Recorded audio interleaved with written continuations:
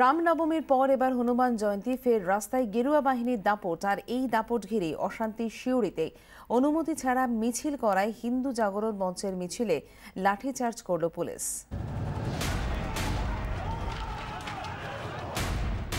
গেরুয়া মিছিলে পুলিশের লাঠি, ধস্তাধস্তি শিউড়িতে ধুন্ধুমার।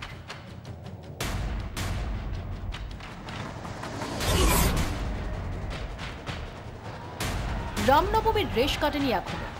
এবার পালা হনুমান জয়ন্তী। মঙ্গলবার গেরুয়া মিছিলকে ঘিরে অশান্তি শিউরিতে।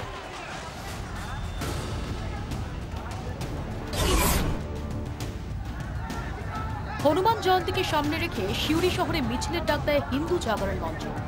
থাকার কথা ছিল বিজেপির রাজ্য সভাপতি দিলীপ ঘোষের কিন্তু পুলিশ অনুমতি দেয় জানলি দিলীপ বাবু তাতে কর্মীদের উৎসাহে ভাটা পড়েনি। বেলা একটু বাড়তেই একের পল্লী এলাকায় জড়ো হতে শুরু করেন সমর্থকরা। শুরু হয় মিছিল।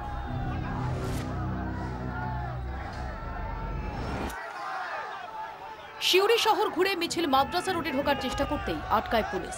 শুরু হয়ে যায় ধস্তাধস্তি। মিছিল থেকে ব্যারিকেড ভাঙার চেষ্টা হতেই লাঠিচার্জ করে পুলিশ। মুহূর্তে রণক্ষেত্রের চেহারা নেয় বাস স্ট্যান্ড চত্বর।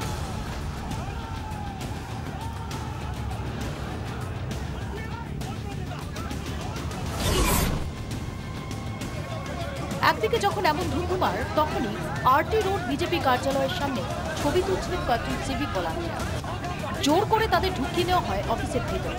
ক্যামেরা ছিনিয়ে শুরু হয় বেধড়ক মার। মিছিল ঘিরে চড়তে শুরু করে রাজনীতির পারো। তৃণমূলের হয়ে কাজ করেছে পুলিশ, তো বিজেপি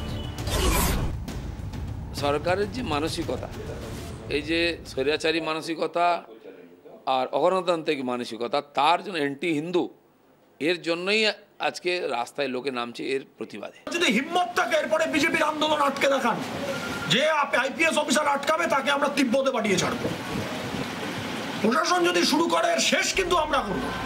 বিজেপি ঝামেলা পাকানোর চেষ্টা করছে। পাল্টা তো তৃণমূল নেতা অনুব্রত মণ্ডলের দুটো সিভিক পুলিশ পুলিশকে বিজেপি পাঠিয়ে বসে ভরে মারলো। পুলিশ ছেড়ে দেবে। পুলিশ ছেড়ে দেবে।